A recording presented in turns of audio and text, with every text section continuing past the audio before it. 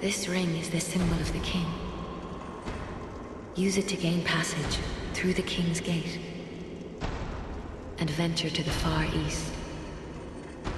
Bearer of the curse. If you are to be the next monarch, then one day you will walk those grounds without really knowing why.